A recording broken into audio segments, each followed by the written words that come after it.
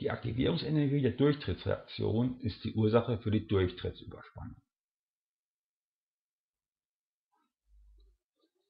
Um Überspannungen an einer Elektrode zu messen, nutzt man üblicherweise die Drei-Elektroden-Anordnung. Wir haben eine Messelektrode, hier mit E2 gekennzeichnet.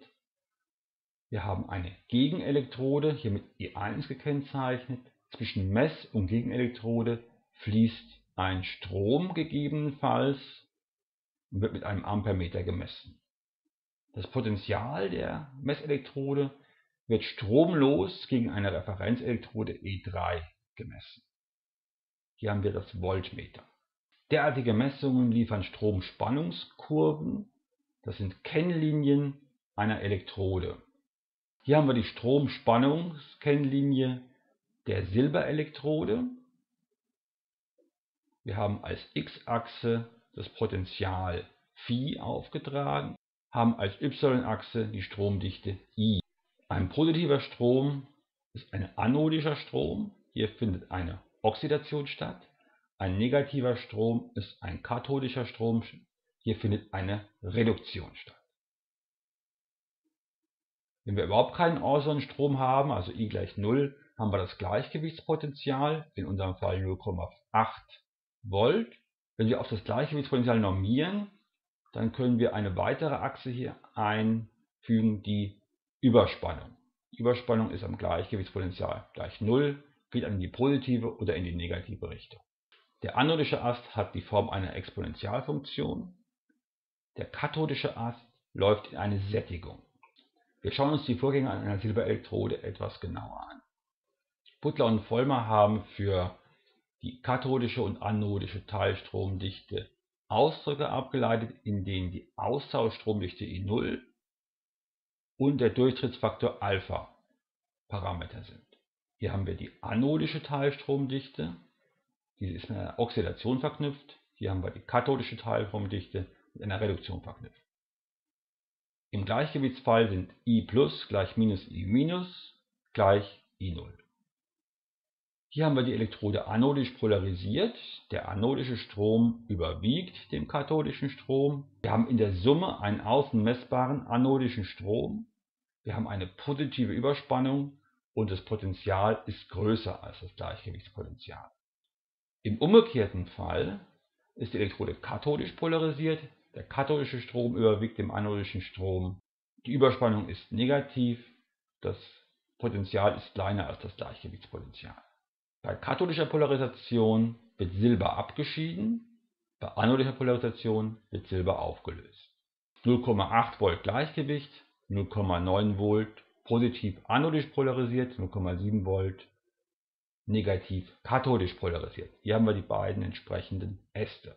Die Potentialskala können wir umskalieren in die Überspannungsskala. Dann ist hier in der Mitte 0 Volt Überspannung, hier plus 0,1 und hier minus die Gesamtstromdichte setzt sich immer aus zwei Teilstromdichten zusammen, der katholischen und der anodischen Teilstromdichte.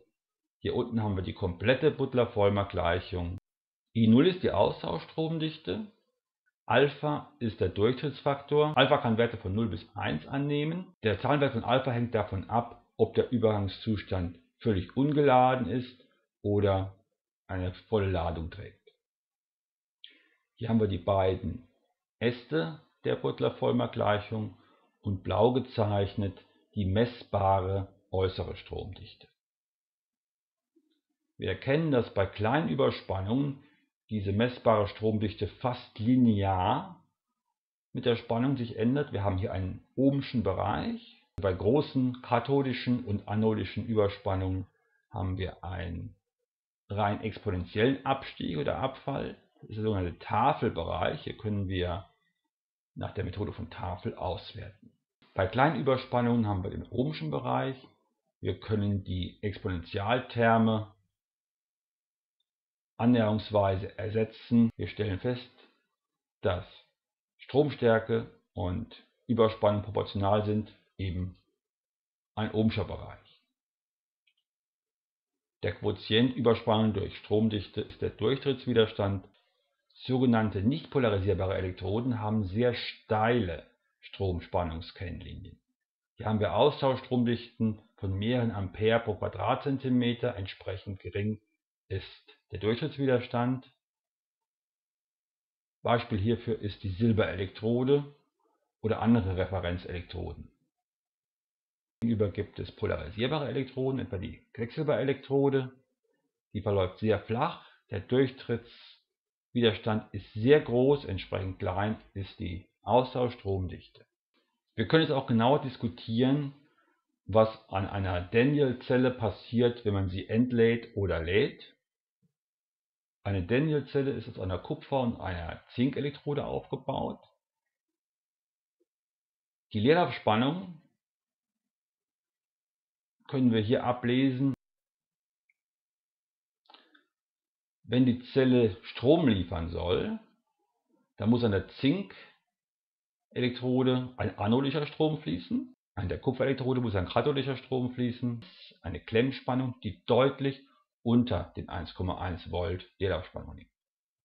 Beim Aufladen des Akkus müssen wir hingegen die Zinkelektrode als Kathode schalten, die Kupferelektrode als Anode und müssen entsprechend eine größere Spannung als die Leerlaufspannung an die Klemme legen. Wenn wir sehr große positive Überspannungen haben, können wir den grünen Teil, also den katholischen Strom, außer Acht lassen. Dann wird die Stromdichte ungefähr gleich der anodischen Stromdichte. Wir können dann logarithmieren. Und wenn wir LNI gegen Eta auftragen, haben wir die sogenannte Tafelauftragung. Im umgekehrten Fall, wenn Eta gegen minus unendlich geht, können wir die rote anodische Stromdichte vernachlässigen und haben dann eine entsprechende Form für die katholische Stromdichte. Das ist der sogenannte Tafelplot, die Tafelauftragung, Ln Stromdichte gegen Eta. Diese funktioniert naturgemäß nur bei höheren Überspannungen.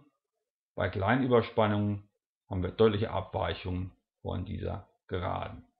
Wir verlängern die tafelischen Geraden, erhalten als Schnittpunkt mit der LNI-Achse die Austauschstromdichte. Aus der Steigung der Geraden können wir den Durchtrittsfaktor ermitteln. Die Durchtrittsüberspannung kann mit der Formel von Butler und Vollmer beschrieben werden. Wenn wir sie auswerten wollen, können wir das nach Tafel tun, indem wir den Logarithmus der Stromdichte gegen die Überspannung auftragen, aus der Steigung und dem Achsenabschnitt der Geraden Durchtrittsfaktor und Austauschstromdichte ermitteln.